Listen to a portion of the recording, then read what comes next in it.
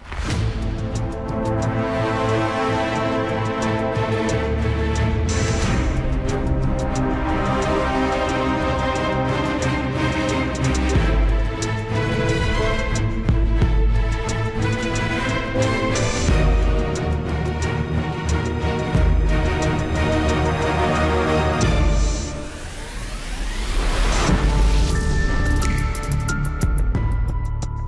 Assalamualaikum warahmatullahi wabarakatuh. Teman-teman berjumpa kembali dengan Enjoy Channel. Pada video kali ini kita akan membahas kembali teman-teman Berita teraktual, terhangat dan sedang menjadi perbincangan publik. Kali ini yang akan kita bahas mengenai berita bahwa Dewi Tanjung Salah seorang politisi dari PDIP ini mengirimkan karangan bunga ke kediaman Habib Rizik Sihab di mana karangan bunga itu mengatakan Habib Rizik terkena COVID. Inilah yang akhirnya menimbulkan reaksi dari teman-teman FPI. Dan saya pikir ini kalau tidak benar, ini bisa masuk dalam kategori berita hoax. Berita hoax artinya orang yang tidak terkena COVID dinyatakan kena COVID. Ini bisa jadi menjadi presiden buruk bagi Dewi Tanjung sendiri. Kenapa? Eh, beliau mengirimkan bunga yang kalimat atau kata-katanya tidak sesuai dengan keadaan yang sebenarnya.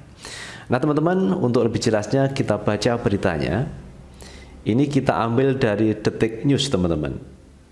Dewi Tanjung kirim karangan bunga ke Rizik. Saya doakan sembuh COVID.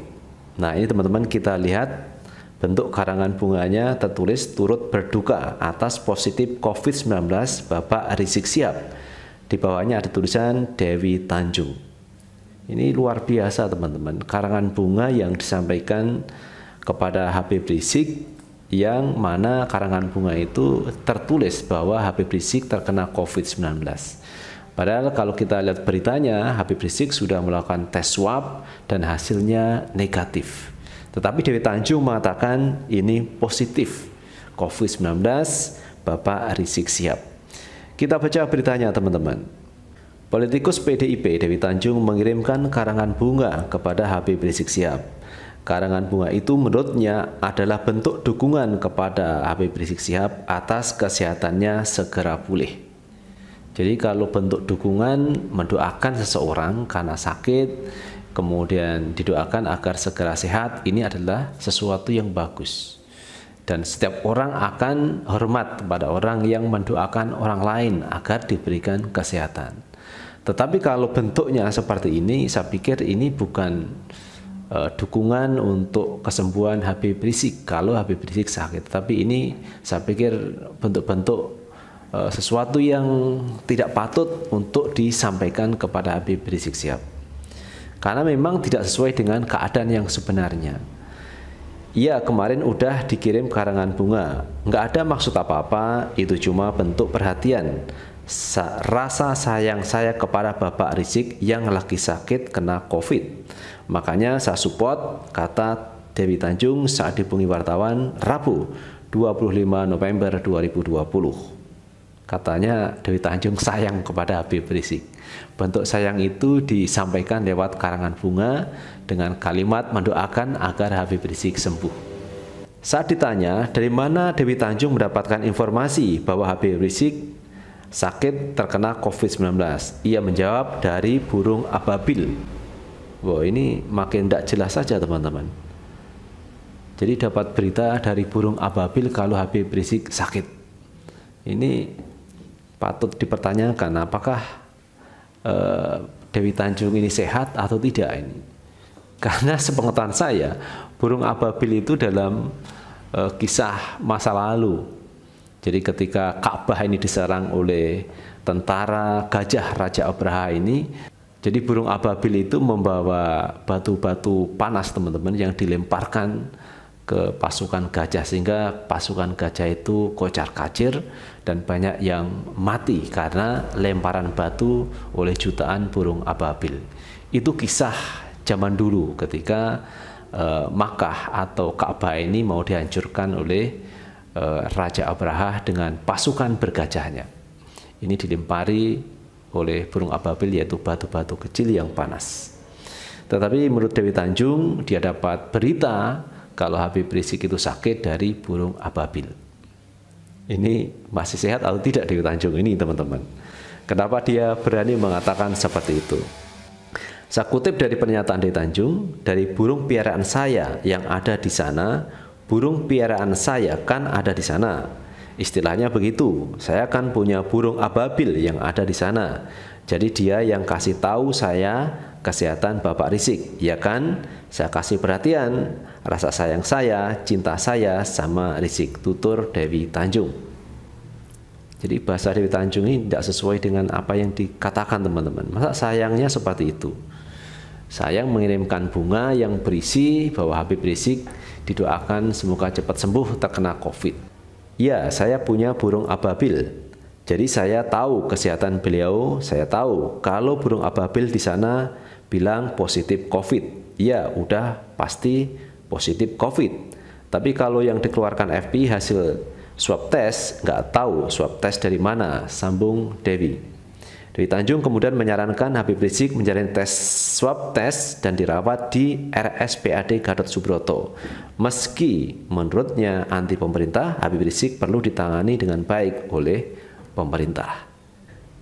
Kemudian teman-teman, supaya kan gini, corona bukan hanya milik Pak Rizik. Itu penyebaran yang sudah kita hadapi selama satu tahun dan pemerintah wajib memberikan perlindungan kesehatan kepada setiap warga masyarakat termasuk Bapak Rizik Sihab. Jadi tidak ada perbedaan, terkotak-kotakkan kalau begitu anti pemerintah.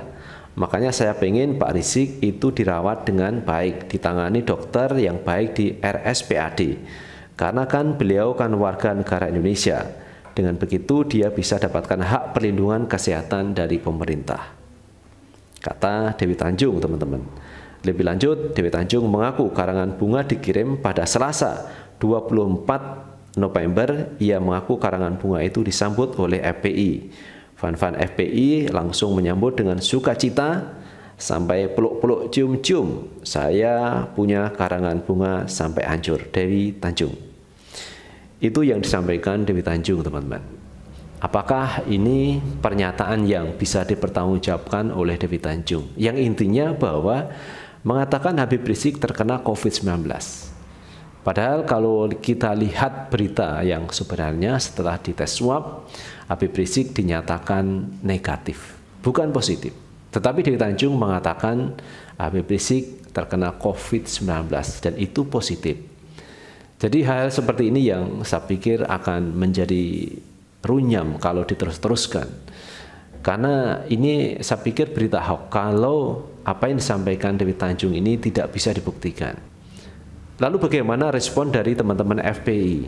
Ada yang mengatakan bahwa apa yang disampaikan uh, Dewi Tanjung ini adalah sampah saja. Jadi tidak perlu dilateni, tidak perlu ditanggapi.